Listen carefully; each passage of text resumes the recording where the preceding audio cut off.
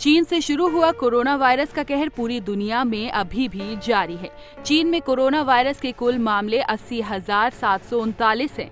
वहाँ कुल मिलाकर इकतीस सौ बीस लोगों की मौत हुई है और अठहत्तर हज़ार 718 मरीज़ ठीक भी हुए हैं।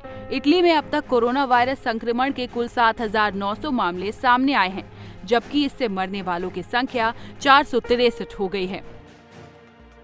विश्व स्वास्थ्य संगठन ने कहा है कि दुनिया में अब तक नोवेल कोरोना वायरस निमोनिया के एक लाख से अधिक मामलों की पुष्टि की गई है।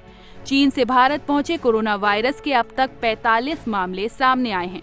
इनमें दिल्ली, केरल, यूपी, कर्नाटक, पंजाब, जम्मू और कश्मीर से एक एक मरीज़ है।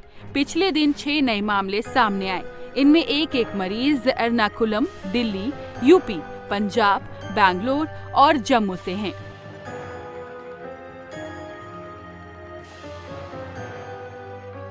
भारत के लिए अच्छी बात यह है कि यहाँ किसी की मृत्यु नहीं हुई है। चार मरीज़ ठीक हुए हैं और फ़िलहाल 41 मरीजों का इलाज चल रहा है। केरल में तीन साल के बच्चे को कोरोना पॉजिटिव पाया गया है। कोरोना को लेकर भारत में मीटिंग हो रही है। कोरोना वायरस से बचने के उपायों पर चर्चा हो रही है। फ़िलहाल मीटिंग में जो भी सामने निकल कर आया है, वो सावधानी और साफ़ सफ़ाई। अगर लोग अपनी साफ़ सफ़ाई और संक्रमित लोगों से दूरी बनाकर चलेंगे तो कोरोना वायरस से बचे रहेंगे। भारत सरकार ने इसके लिए एडवाइजरी भी जारी की है। News desk.